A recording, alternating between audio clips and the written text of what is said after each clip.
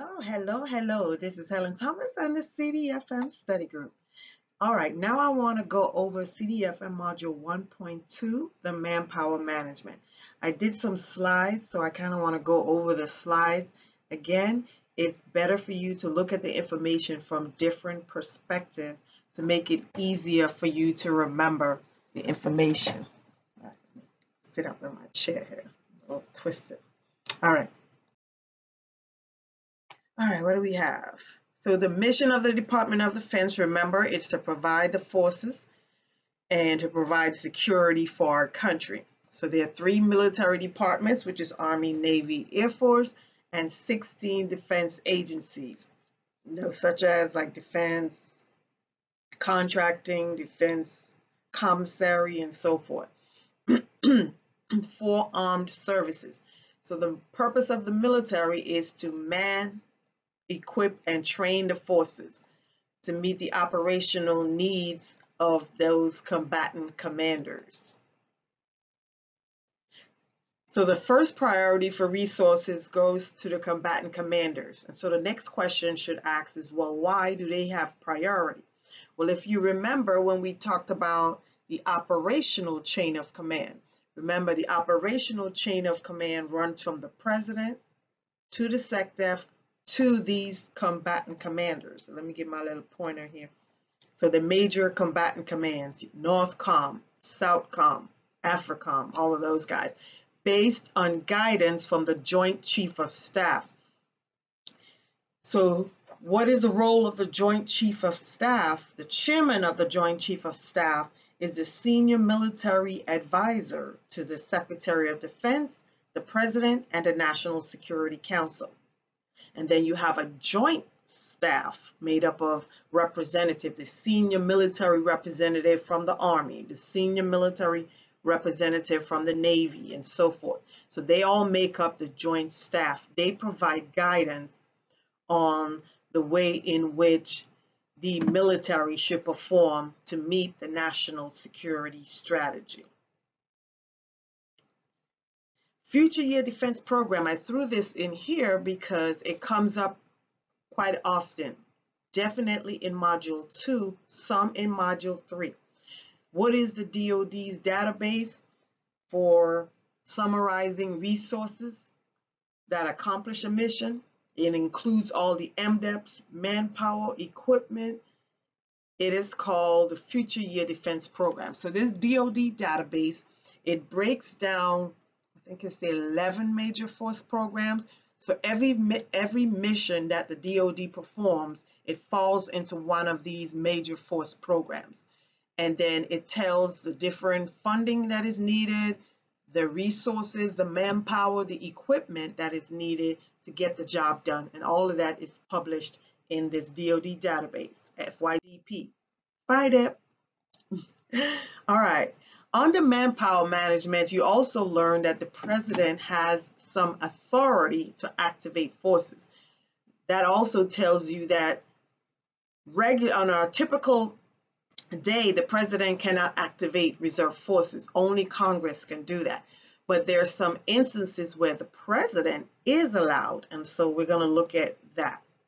So under Title 10 U.S. Code 12304, that should be easy to remember, gives the president the authority to activate selected reserve and ready reserve personnel. So Title 10 U.S. Code, this tells you that's the law, and the paragraph and chapter gives the president the authority to activate forces. Well, what are the conditions that must be in place for him to do that? The president can only activate forces without consent from Congress if we have threat of weapon of mass destructions or any terrorist related activity, whether major threat of terrorism or actual terroristic acts. You have, the president can activate these forces. How long? He can activate reserve forces for up to 365 days no more than 365 days. So that's his limit for a year. And he's also limited on the number of people that he can activate to come to active duty. No more than 200,000. So this is your total limit for that 365 days. 200,000 members made up of selected, selective reserve and individual ready reserve. And of this 200,000, no more can be 30,000 out of the individual ready reserve, the IRR. So let's look at some terms as it relates to manpower, because this may require you to do some calculations. And you have to know what the formulas are because they're not going to be given to you on the exam. So first of all is the turnover rate. So if you're asked to calculate the turnover rate, remember it's the num total number of employees who left positions during the year divided by the number of the total number of positions. So the rate tells you that it's going to be a percentage. The value has to be written in as a percentage. And rate also tells you it's a smaller number divided by the larger number. So I gave an example. Assume you have 10 people left. You had 100 positions. Total number is 100. You have 10 people that left, so 10 divided by 100. So that means your turnover rate is 10%. Let's look at another one. The fill rate. The definition is the average number of days from when an employee leaves up until when that position is filled again. So that time lag there, the fill rate. So the example given here is assume it takes 65 days when a person uh, quit or retired or left PCS and it was 65 days before they was able to get another person on board or hired another person. And there are two, 20, 80 hours, 260 work days in a year. So within that time frame, you take the 65 days out of the 260 or divided by the 260, making your fill rate 25%. So you got to look at the total number of years, not years, fiscal year, in the fiscal year. So however many months or days it takes. So of that 260 work days, it's 2080 hours. So 65 divided by 260 is 25% fill rate. Here's another rate, the lapse rate, percentage of the year that vacancy occurred. So it's the turnover rate times the fill rate equal the lapse rate. Turnover times fill equal lapse. And the number of positions to budget. So depending on how much budget you have. So 2.5% of the 100 positions are valued or filled during the year. Therefore, 100 position minus 100 times the 2.5 5% equal 97.5 positions filled to the budget that you're given.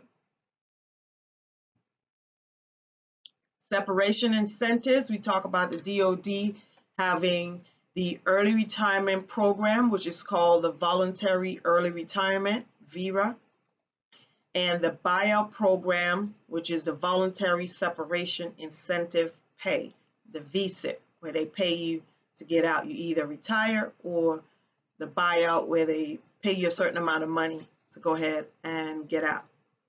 So the DOD is limited to no more than 25,000 buyout separations per year. And it's also limited with the buyout payments, the lesser of 40,000 or the amount of your severance pay.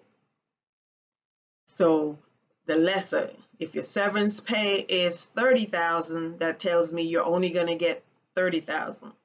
So you can't go over 40,000 buyout payment limitation. And if you're an employee who accepts a buyout, cannot be reemployed for 12 months after receiving the money, receiving the funds, receiving that buyout. So you have a 12 month or a year waiting period. You took the money, you got out the Department of Defense, took a break for a year, then it's saying you can apply and come back in after a year. Federal activities reform. This is going into dealing with commercial activity and whether to have a contractor do a job versus keeping it inherently governmental.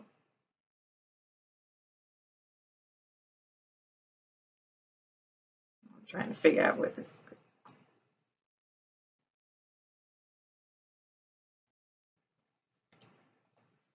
All right, so the Inventory Reform Act of 1998 says no later than the end of the third quarter of every fiscal year, each agency is required to submit a list to Office of Management and Budget, OMB, of all the activities performed by federal sources and then those functions that are not inherently governmental. So every function that is performed by the agency must be listed and submitted to OMB by the end of the third quarter of each fiscal year, based on the Inventory Reform Law of 1998.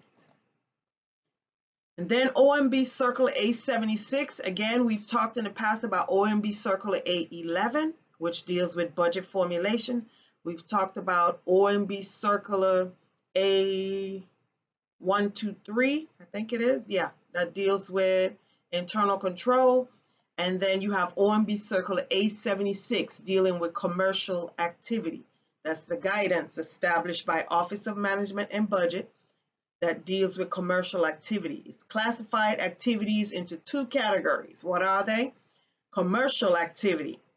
Those government functions that is performed by a contractor. If you work alongside a contractor, those government functions that that contractor perform is a commercial activity versus inherently governmental activity.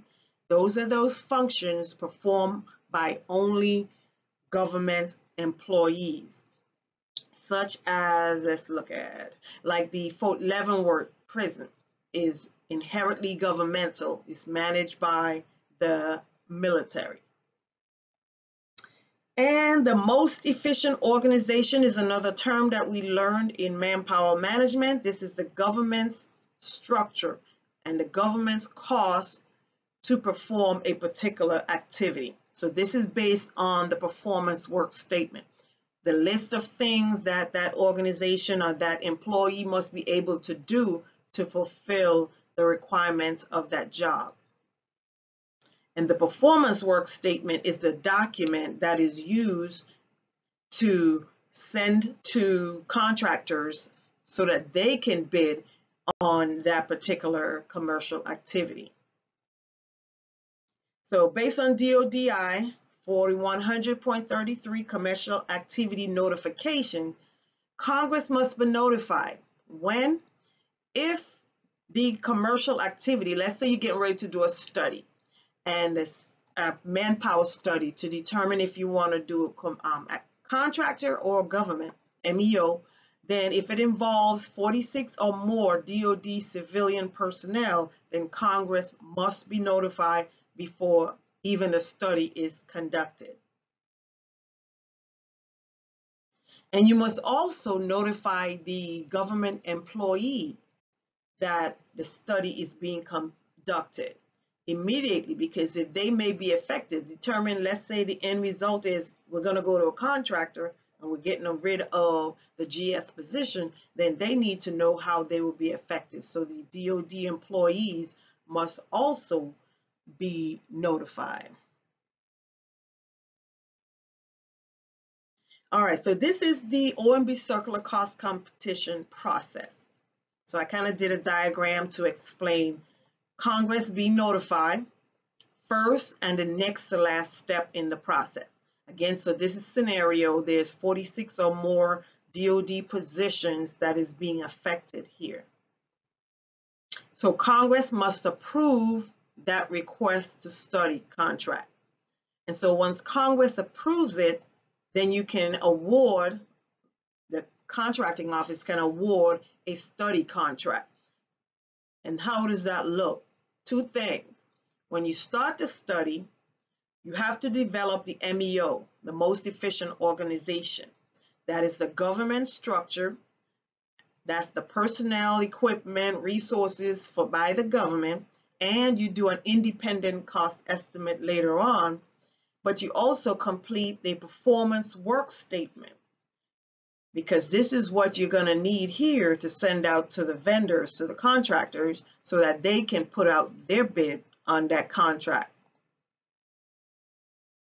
So MEO completes an independent cost estimate by the DCAE, right? Director of Cost Assessment and Program Evaluation. That's the cost guy at DOD. So they're probably the ones doing that cost estimate. And the contracting office will send out, take this performance work statement and they'll issue solicit um, bids from contractors to do that same job. And then the contractor will give their cost. And then a cost comparison is done between what it costs the government to do it inherently and what it costs the contractor to do it. So a commercial bid must be at least 10% below the in-house, which is the MEO, to be even considered or selected. And depending on whatever the decision is, you have an appeal process.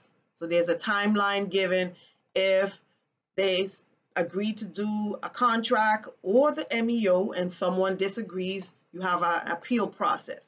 But once the final decision is made on which direction they're going to go, if they go to contract versus MEO, then next to last step says Congress has to be notified of the findings of the decisions that's been made here in this process. And then finally, once Congress is notified, the contract is awarded or the MEO is implemented. So that's just a snapshot of the cost competition process done in the OMB Circular A76. So memorize the OMB circulars because you're only going to learn a few of them in this um, CDFM. And anytime you hear, oh, that's the A76 study, you already know that's the commercial activity. Or OMB Circular A11, okay, we're talking about the budget process. So let's switch a little bit to ethics because remember again, all of these modules includes ethics, which is fiscal law. So let's talk about gifts from outside sources. So the question I pose is, can you accept gifts from a contractor. If you're a government employee, can you accept gifts from a contract? And what this is saying is yes, you may accept a gift from a contractor if the value of that one gift is $20 or less. So let's say they give us a pen. If the value of that pen is $20 or less, and for that year, which is annual year, not to exceed a total of $50 gifts from that same contractor. So $20 or less and $50 for the year. Acceptance of gifts by injured service members and their families. Can, the, can they accept gifts? So if the service member receives the gifts, he can accept gifts up to $1,000. If the value goes over that $1,000, so let's say the individual was injured in combat, they can accept a gift and someone wants to give them a gift up to $1,000. If it exceeds the contract, then ethic officials, so your lawyers, your ethical lawyers, have to make a written determination if they can accept that gift that's worth over a $1,000. So I'm thinking even the people, one day, um, let's say they give a sold service member a house. We know that's more than a $1,000. So they probably have to get the ethics lawyers to do a written determination. Because again, if it's not in writing, then it didn't happen. Gifts between employees is another big one, but it talks here about individual gifts to su supervisors. Must not go over $10. So whenever someone comes around and they are collecting funds, okay, someone is leaving, your supervisor is leaving, your senior leaders are leaving and would you like to donate under ethics ethics you should only donate up to $10 employees again it's a choice Employees may contribute on a voluntary basis, right? So it's a choice. And a DOD employee, employee may not. So if you're a supervisor and you accept a gift, you have to make sure that the value of the gift does not exceed $300. I don't know if most people ask. For the most case, it shouldn't. The $10, $10 limitation still applies here also. Another big pocket in ethics or issue that can come in is honoraria. The Title V here tells you that we're talking about DOD civilians because your military members will be covered under Title 10 and your National Guard is covered under Title 32. So those are the three. Title 10, military members, that's like your active Army, Reserve, and then your National Guard is Title 32, and your DOD civilians, government civilian, DOD civilians is Title 5. So Title 5 says, and you know already, if you're in uniform, you can't accept a gift from anybody because you're a soldier, you're airman, you're Marine.